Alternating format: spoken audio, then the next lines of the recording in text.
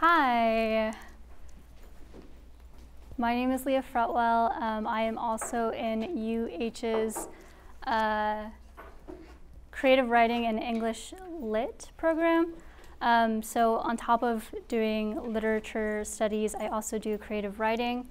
Um, I'm actually going to read a little bit um, from a piece that I wrote, um, and then I'm going to talk a little bit, uh, like Ann did, about my journey to grad school, and then a little bit more about the creative writing program, uh, which is a little bit different than the Rhet Comp program. Um, okay, so this is from a piece called the Hampton Roads Bridge Tunnel, and it's about two sisters. Um, one of them is dead, and one of them is narrating, and she's looking back and remembering uh, her sister. Um, so, so in this first scene, she is describing, uh, the living sister is describing the Hampton Roads Bridge Tunnel. It was like driving, it was like traveling inside of a jack-o'-lantern or the barrel of a flashlight. The lights went from orange to yellow and back again. We used to hold our breath when we reached it, pinching our noses and stretching their tips like taffy, or blowing our cheeks up until they were speckled with veins and ready to pop. On field trips to Jamestown or Williamsburg, the entire bus would go from screaming to silent in seconds, the teachers relaxing into their seats while we tried to suffocate. On trips across the bridge with our mother, my sister Naomi and I would compete to see who could keep their breath down the longest. Naomi would stare at me, stare me down, her eyes widening and then shrinking, widening and then shrinking, daring me to break. I always did. Naomi would celebrate by pinching my deflated cheeks so hard that she left little bruises on my cheekbones in the exact shape of her, of her fingertips. I used to think that we had to hold our breath when we reached it, we held it because we were preparing for the worst. I used to think that as soon as we slipped below the water, the orange and yellow lights flashing past, we were in danger, we were vulnerable, we were close to death. The walls would collapse and the ceiling would crush us, and we would be drowning and unable to escape. I didn't know how to swim, and Naomi wasn't strong enough to pull me out of the water. We were two seconds from being buried, and we would need to stop breathing to survive until the firemen or the policeman or the coroner could get to us. And if we died, the bloat of our corpses would be inevitable, our bodies swelling with water until we were bruised and purple like rotting peaches. I'd seen a drowned body before on the Filipino channel after a typhoon. It was on the news report. They'd pulled the body out of the water by its ankles and then let it rest on the beach. I was afraid that it would slip out of its skin and a skeleton covered in blood would be left on the shore or it would explode like a whale. But it didn't. It just sat there, bloated and blue, until someone came to take it away. By blowing up our cheeks, I thought, we were simply preparing to float to the surface of the water like rafts, ready to be found. Naomi could hold her breath longer than anyone I knew. It blew my mind. She held it way past the tunnel. When we were back above ground, watching the naval ships nesting in the harbor and the cement posts sinking into the water, and the birds flying like gnats around the base, skimming the water for fish, she would still be sitting, staring at me, moving her eyebrows up and down, her cheeks blown up as big as a church. It wasn't until years later that I realized, stupidly, too late, one of those idiots who still believes in duendes, or that all sick pets live upstate, that I realized my sister had never once plugged her nose during our contest. She had stared at me, open faced, her cheeks fat with air her thick mouth shriveled like a bad grape, her chest moving softly against her sweater. Um, okay, so in the creative writing uh, program, we study literature. Um, so we have literature classes. We have um, we have we, we pick a focus area. So there are a couple of streams you can take. Um, so uh, there's critical poetics, right? Um, there's critical studies of the Americas, and then there's translation, right? Literary translation. And so my uh, focus area is critical studies of the Americas. So the way that the program works is that um, we take creative writing workshops where we bring our work in uh, and we get it reviewed by uh, our professor and also our peers in the class. Um, and what they do is they give us feedback, and um, we give them feedback, uh, and we talk about fiction together. Um, or if you're a poet, you would talk about poetry together. Um, and there's also other classes uh, offered, like playwriting. Um, and then we, we, you know, sometimes we do uh, exercises as well, uh, where we do some writing uh, based on a prompt. Um, but again, we also take literature classes, so we do have to, um, you know, write essays. We have to complete the requirements um, of a literature degree as well, uh, and then the creative writing is kind of on top of that. So I think we're technically taking more credits than a literature student would, because um, it, it's like a degree on top of a, a degree, basically.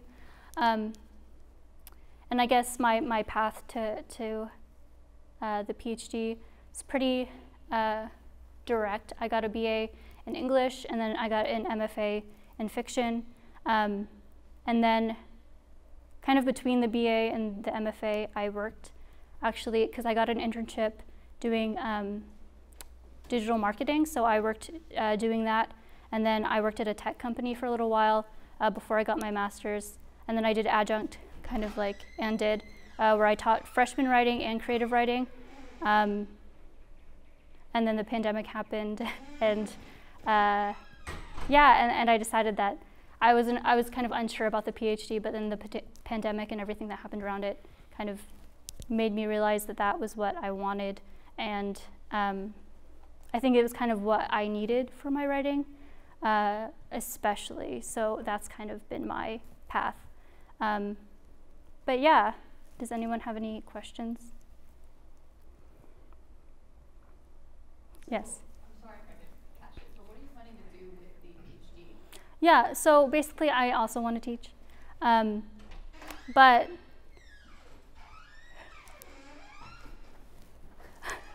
but uh, the creative writing PhD, just like um, I think with any writing degree, like I used to work in digital marketing, it can be, be useful in different fields.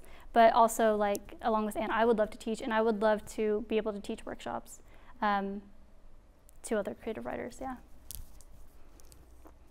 If I can interject, you also have opportunities to work in um, like in the nonprofit sector. Um, I did had a job between the MFA and my PhD um, as a literary programmer. Um, so I would develop creative writing classes for a community organization, um, and then also organize reading events. And so basically, I could, you know, you know, kind of like a I forgot what you call it. Uh, ed education is not part consultant. of. Say again. A consultant. Not a consultant. Uh, I did some consulting though. Um, the uh, the curriculum curriculum design for community. Uh, there's a word for it that's escaping me. Sorry. Um, but then also too, so like building community within classes, and then also creating events then that would bring people together, and it's to be in conversation writing. So, um, and then there would also you know work, work with writers in prisons, work with writers in, in you know elementary and high school as well. There's tons of opportunities to use the degree that are not just strictly teaching, teaching. So, yeah. Um, has a lot of flexibility. Advertising, like you say. Yeah. yeah. Also, I like I want to write, so that, that's it's it's helpful with that. Yeah. Have you ever published? Yeah. So I've published uh, two short stories or three short stories, but two that I'm proud of. So yeah. Any other questions?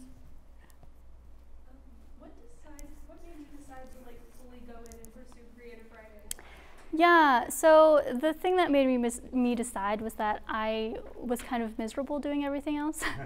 um, it's that kind of thing. Like if you can do something else, then like you you should do it. But if you can't do anything else, and like you feel like it's the thing that you have to do, then you have to do it and you have to pursue it. And that was the case for me. Uh, yeah, yeah. Any other questions? Okay. you're not miserable when you're writing? I am not miserable when I write. I love it. It's it makes me happy. It's the yeah, it's the thing that that I, I really love. Along with teaching. Teaching is also great. Uh, but but writing is like the thing. Yeah. Uh, yeah. Patrick, do you wanna? Sure. My journey is pretty similar. Well, it's kind of in between y'all. Um, my name is Patrick, also first year um, creative writing PhD at Houston. Um, I I took 27 years to get my undergraduate. Um, I dropped out a lot. Um, I worked at bars, I worked at coffee shops, I was a musician. I pretended to be a painter and an interior designer. I tried all of these things and I sucked at all of them. Um, some I sucked at less, but none of them were fulfilling. And then one day a friend of mine at a coffee shop said, why don't you come sit in on my writing class? Sure. My ex, my wife at the time, now my ex, was like, sure, you should do that. He's a writer, you should do it. I wound up, it was, those were the conversations I wanted to be a part of. And I think that when you're making a decision to be about graduate school, that's what it's about for me, is what, what sort of, what you want your life to be consumed by, because it is going to consume it. Um, and I love being at a table with other writers, talking about fiction, or poetry, or books we love. Um, I love pushing the boundaries of what I, what I love about writing is writing pushes the boundaries of my understanding of people, different identities, different cultures, it constantly pushing my awareness of, um, and my compassion and my capacity for, for love. So that's one of the, the, the great things about writing for me is it pulls me into uh, places that I would have never dreamed going. I came from a very different background than the life I live now. Um, and I'm, I'm really grateful to writing and writing communities for that. Um, and, uh, you know, sitting at a table, full, your peers are all writing at a really high level, and you're being led by someone who's at the highest, one of the highest levels you can go in your field. Those are, those are experiences that I wouldn't trade for anything. And your own work, it's, it's amazing how quickly your own work will improve when you're just sitting at a table with people like Leah, like Ann, who are you know, at the top of their game as well. Um, yes, there's a lot of competition, but um, and there's a lot of work. It's exhausting work, tired all the time, but it is absolutely 10 billion percent worth it. Um, in my so I, I started graduate school in 1980, or started my undergrad in 1989 and graduated after two really long breaks in 2014. Um, and then went straight into a master's program an MFA program for fiction at New Mexico State University. Um, and uh, graduated, went all the way through, graduated, did, I, I involved, you were asking about organizations and internships and stuff. Do all of them. Do everything you can. Immerse yourself in that community because those relationships are what carry you into your career. Those relationships, like, I'm 100% confident that I got into the PhD program at the University of Houston because of relationships that I was building all along the way. Um, so, do the, go to readings or go to, you know, uh, events like this. Seek out people that work in, the, that do the work you want to do, and at least be volunteer if you can't get hired. Spend time in those environments because that's really where you're gonna you're gonna really figure out what sort of academic person you want to be.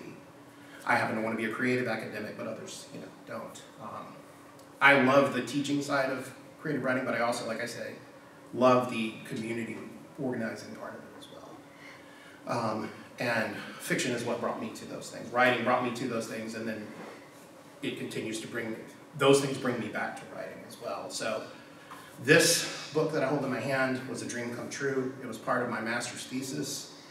I wrote it because I needed to hit a page limit. I'd never written anything that long in my life. Um, I submitted it to a contest one night when I had had a few and forgot about it.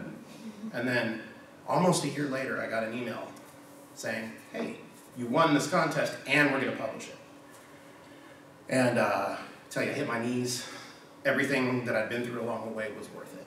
Um, and uh, about a year later, it came out, and um, I'll wrap up my conversation with you with some questions at the end, if you'd like. Um, I don't know how we are. How are we on time? Okay. Oh, we're good. We're good? Okay. We're good. So I'm going to read like a couple pages at the beginning, and then I'm happy to answer any questions, or if you have questions for the... We read this class, I think, didn't we? Yeah, we read the first chapter. Yeah, we're from the creative writing class. You are! Yes. Uh, us three, we are from the. Yeah, I thought y'all looked familiar. Yeah, so yeah, we met with you. It was masks. Yeah. yeah. Yeah, we met with you. So you read the first chapter then? We read, we read the first chapter. Well, I won't read that. That's what I was going So this is a, a it's an, I, I originally wrote this from, um, a point of view of a guy who was getting divorced. It was really sad and mopey and depressing. Um, and all the people that read it in my workshop